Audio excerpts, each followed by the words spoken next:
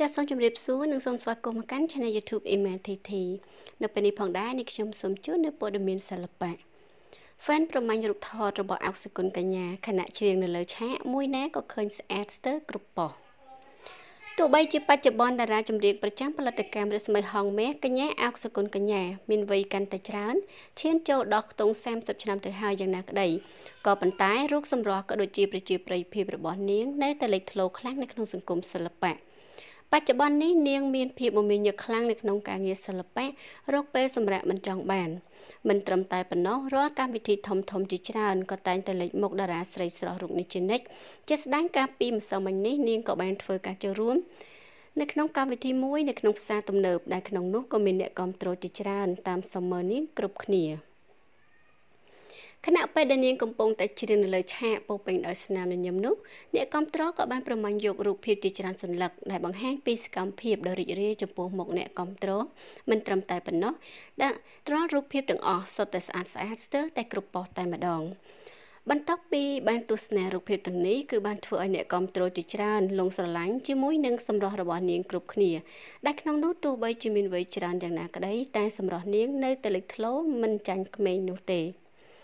ចាអញ្ចឹងសូមចុចទស្សនារូបភាពរបស់អើស្គុណកញ្ញាដែលត្រូវបានប្រមាញ់ចាដោយអ្នកគ្រប់គ្រងចា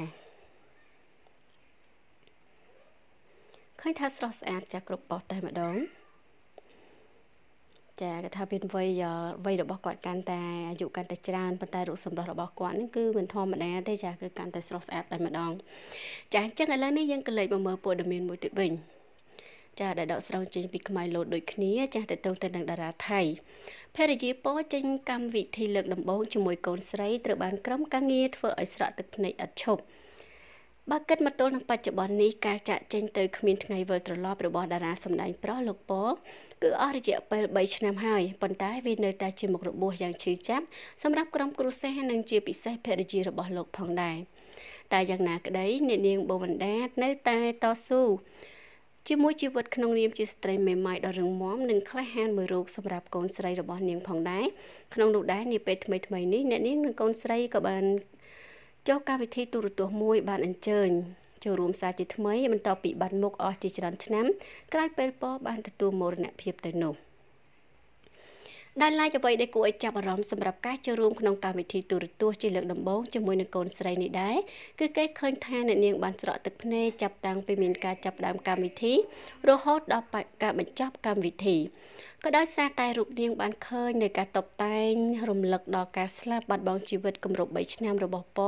ដែលធ្វើឲ្យនាងទប់ទឹកភ្នែកមិនជាប់គ្រប់ពេលដែលឃើញរូបភាពស្វាមីខ្លួនម្ដងម្ដង។ ទង្វើទាំងអស់នេះជាក់ស្ដែងឲ្យឃើញថាបើទោះបីជាតារាសម្ដែងប្រុសលោកពបានស្លាប់ទៅអស់រយៈពេលយូរឆ្នាំយ៉ាងណាក្តីតែការបាត់បង់មនុស្សជាទីស្រឡាញ់មួយនេះគឺនៅតែស្ថិតក្នុងភាពឈឺចាប់និងសោកស្ដាយដែលគ្មានថ្ងៃនឹងងាយអាចបំភ្លេចបាននោះទេចា៎ចានេះរូបភាពភរិយារបស់គាត់ចាស់និងកូនស្រីដែលបានចូលរួមក្នុងកម្មវិធីដែលមានការតុបតែងរៀបចំបន្ទុកមួយចាដែលមានរូបលោកប៉ផងដែរ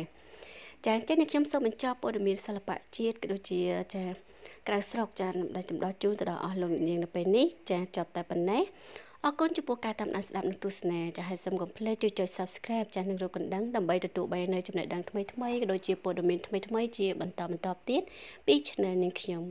នៅពេលនេះក៏សូមអរគុណនិងសូមជម្រាបលា